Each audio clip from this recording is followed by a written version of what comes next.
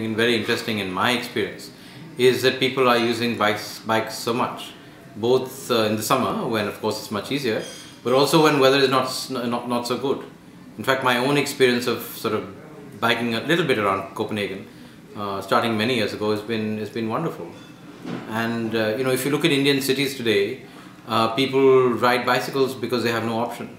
So the people who don't have options in terms of public transport uh, either walk uh, or they use bicycles and they're typically people who are not uh, you know very well to do they're relatively poor. So bicycling uh, in India like it was in China earlier is seen as uh, the only option that a poor people can a poor person can use. Uh, and you know as soon as somebody has a little bit of income uh, they would like to move on to a motorcycle. And once you go beyond that then you want to go to a car. So the whole aspiration to get into motorized transport and you know the linkage between that and and social status are very strongly tied together. I think one has to change that. Plus, of course, the other thing that we've been having for the last maybe 10 15 years is, is that traffic accidents have become an epidemic. Uh, so we have very, uh, very high levels of mortality. I think, you know, maybe there are probably 150,000 or 200,000 people who die in traffic accidents in India, and I think about two thirds of them are pedestrians or cyclists. So one of the reasons I have, uh, I have had stopped cycling in Delhi I to cycle for maybe 10, 15 years to work and back, is because it's too dangerous. Because we don't have uh, separate cycle paths. Uh, there are no special crossings for bicyclists. And essentially the motor cars have completely taken over the space.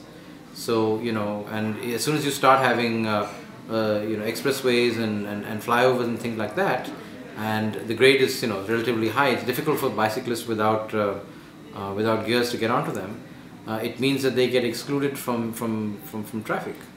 So a mix of uh, status um, and the fact that uh, you know it's dangerous to drive uh, is, is a real, real challenge. So I think you know from Copenhagen, uh, what you have here is an independent system where cyclists are safe. Uh, there are enough cyclists on the street, so you're not sort of isolated as far as that's concerned. And there's a culture in which you can actually use it. Plus, of course, you have public bicycles. which of course is something that you know we've never had in India. It might be difficult to implement that because if you had lots of public bicycles, you'll have to have millions of them. Otherwise, like in Netherlands or in in in in, in uh, uh, Denmark or or you know in other parts of Scandinavia, uh, you'd have so much bicycle uh, theft that the, the, the police will be spending all the time doing that. So it'll have to be probably private bicycles in India, but we need bicycle paths.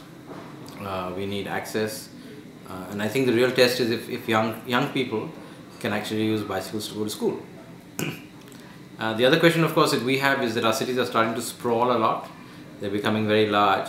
So it, in, in, in, in hot weather, it becomes a bit of an issue. If you're bicycling two, three kilometers, it's all right. If you're doing 10 or 12, uh, two ways, that's about 25, it becomes a bit of a stretch. It's not that easy to do. So it's also a question about urban form and how you plan the city that, that becomes important. But basically we've been driven by the car and we have to try and reclaim that space as much as we can.